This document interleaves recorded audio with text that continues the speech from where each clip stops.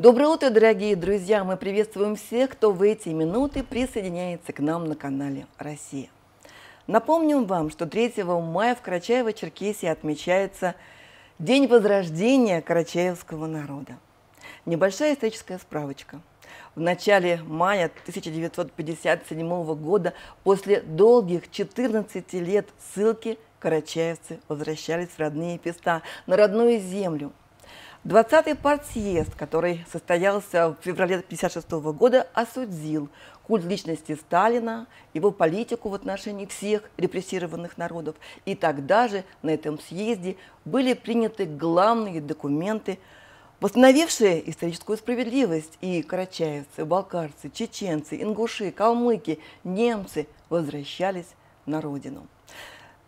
Появился ветер перемен, я бы сказала, началась эпоха, эпоха Возрождения, эпоха Возрождения Карачаевского народа. На эту тему сегодня будет говорить наш утренний гость. Я с удовольствием представляю вам Шагабана Мусаевича Татаркулова, доктора экономических наук, профессора, руководителя исполкома регионального отделения общественной организации Карачаева-Анхак. Доброе утро. Добрый день. А, прежде всего, спасибо вам большое за то, что вы нашли время, пришли к нам в студию. И вы знаете, каждый раз, когда мы с вами, с вашими коллегами обращаемся к теме возрождения, сталкиваемся с таким моментом, что возрождение непременно, даже не параллельно, а скорее пересекается с другой трагической датой в истории карачаевцев. Даты 2 ноября 1943 года, когда карачаевцы подверглись депортации. Профессор, чего мы с вами не должны забывать? Говоря о возрождении карачаевского народа, необходимо вернуться к событиям трагическим 1943 года, когда карачаевцы были в течение буквально нескольких часов загружены в машины и выселены в районы Средней Азии. Это была большая трагедия народа. И сегодня, конечно же, нельзя забывать о том, что более 60 тысяч карачаевцы были загружены, отправлены в Среднюю Азию. Среди них было 53% составляли дети, около 22% это были женщины, только 18% мужчины. Шла война, 43 год, и это в основном были старики и инвалиды. Далее, вот я вспоминаю, мать у меня рассказывала, она была семилетней девочкой в период депортации. Они поселили были в Средней Азии, в Казахстане, в районе Чу. И она вспоминала, как зимой э, плевок ее уже в землю сосулькой падал. Непривычные условия э, жизни приводили к большим э, потерям среди населения. При этом надо отметить, что карачайцы были разоселены в 480 населенных пунктов это, наверное, первый шаг был к ассимиляции всего народа. И если бы не период возрождения, возвращения карачаевского народа, стоит большой вопрос, насколько карачаевский народ смог бы сохраниться. Говоря о 63 выселенных э, тысячах населения карачаевцев, нельзя забывать о том, что в тот период 15 600 человек, то есть каждый пятый карачаевец был на фронте. Более того, 2000 населения были призваны в трудовой фронт окопы рыть и были задействованы в оборонительных э, мероприятиях. И, безусловно, в этот период говорить о выселении карачаевского народа было величайшим преступлением. И вот 57 год, 57 год, э, был первым шагом к восстановлению справедливости. И мы сегодня говорим о справедливости в отношении карачаевского народа. Но, собственно говоря, он коснулся всех репрессированных народов, которые действительно испытывали большие трудности.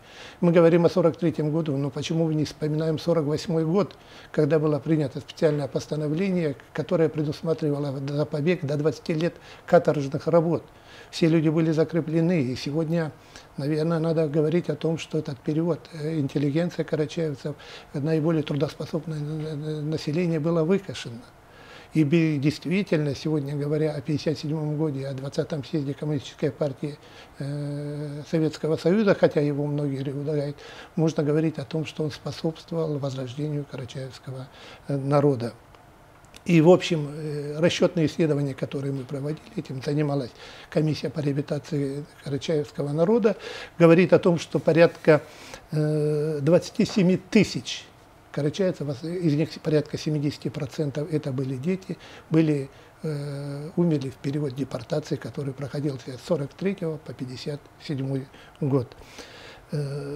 Вы знаете, я в жизни работаю с молодежью достаточно долго, и меня очень беспокоит то, что, говоря о э, депортации, выселении карачаевского народа, я часто сталкиваюсь с тем, что молодежь не интересуется, к сожалению, этим вопросом. Многие не знают этого вопроса.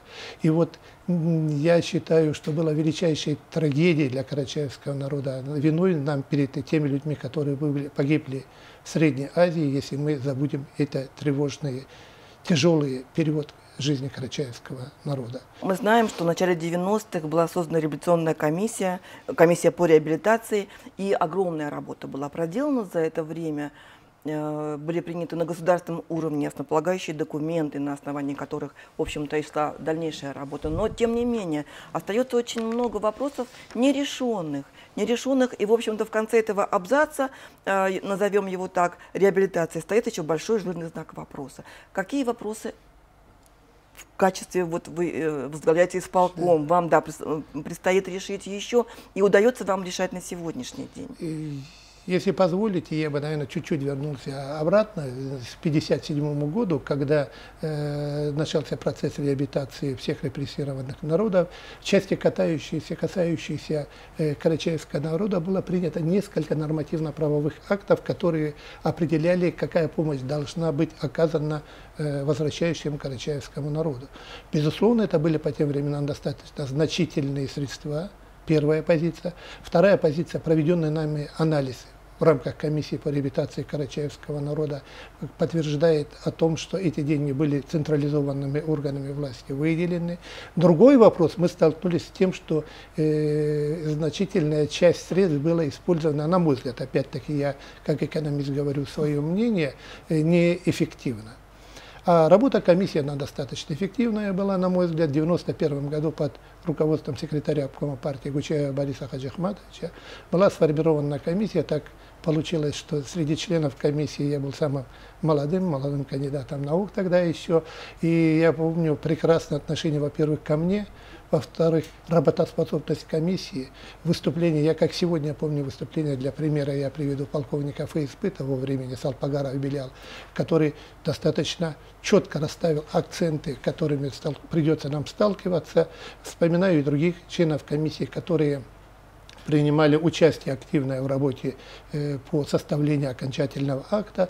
И в течение нескольких месяцев нами был создан достаточно э, компактный, достаточно серьезный документ, который определял проблемы, определял источники финансирования, определял пути решения проблем, которыми сталкивался карачаевский народ в период восстановительных э, работ по возвращению на родину. Вопросы восстановления, реабилитации репрессированных народов, мы исходить, должны исходить из того, что жизнь проходит.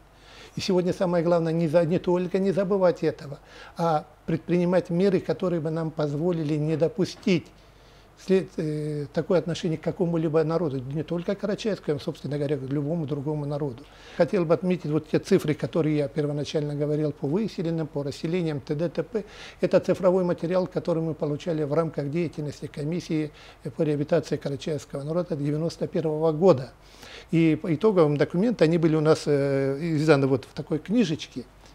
Я сегодня захватил специально для работников э, телевидения «Россия». Хотел подарить, Спасибо если у кого будет интерес, чтобы Спасибо. ознакомились. Работая комиссии по реабилитации карачаевского народа, это часть материала, кроме того, исторические воспоминания людей, которые были на выселении. Спасибо. Мне хочется сказать, что карачаевцы возвращались э, в родной дом, а дома стены помогают. То есть восстанавливать хозяйство, восстанавливать свою когда-то вот так вот брошенную, может быть, на полпути жизнь, создавать семьи, рожать детей. Все это помогала родная земля.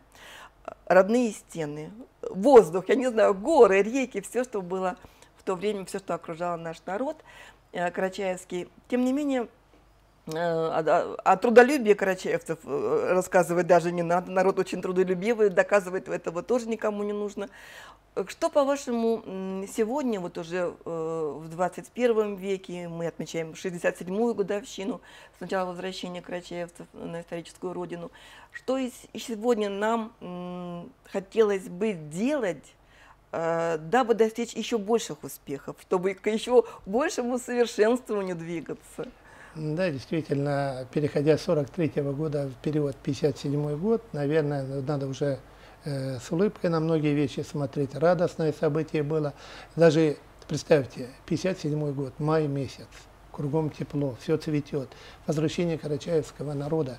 Мы можем только представить сегодня, что испытывали те люди, которые после 14 лет лишений возвращались в родину. Хотя при этом будем объективны.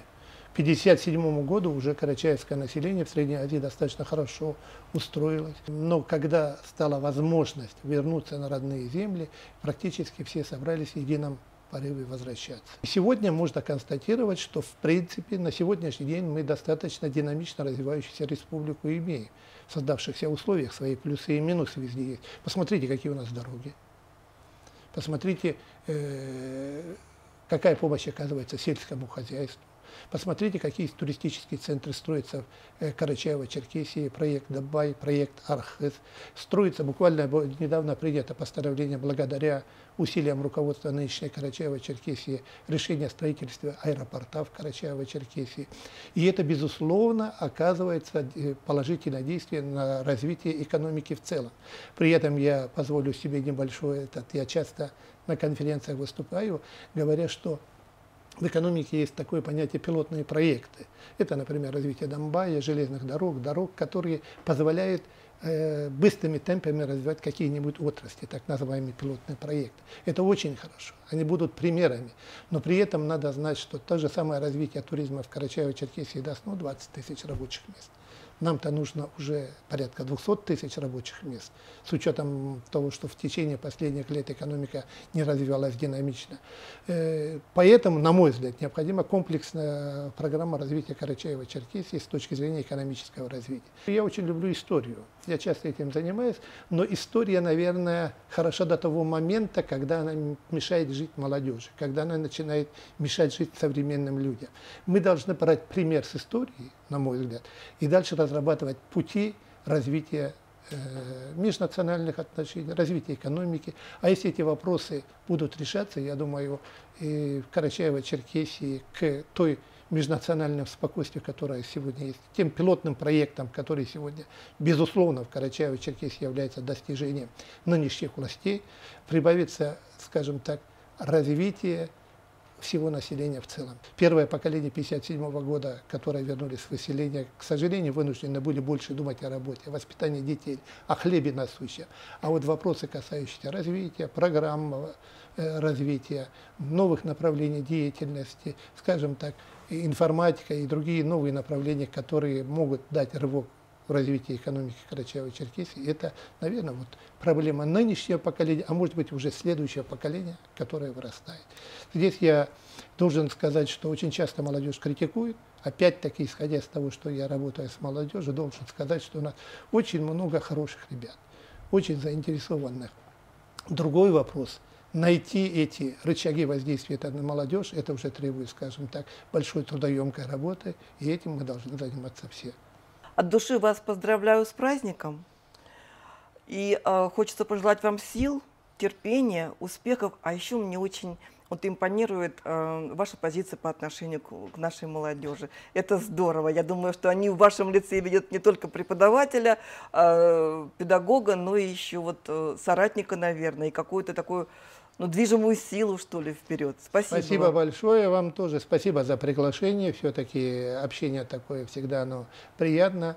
Я хотел бы точно также поздравить вас с праздниками майскими, в том числе и с э, Днем Возрождения Карачаевского народа. При этом хотел бы обратить внимание, что наша общественная организация каждый год обращается к руководству Карачаева-Черкесии с предложениями по чествовании возрождения карачаевского народа, траурных мероприятий. И спасибо большое руководству Карачаева-Черкесии, которое организовало оргкомитет по данному вопросу, в том числе с участием наших представителей нашей общественной организации Карачаева, Карачаялан Халка. Я очень надеюсь, э, запланированные нами мероприятия будут исполнены.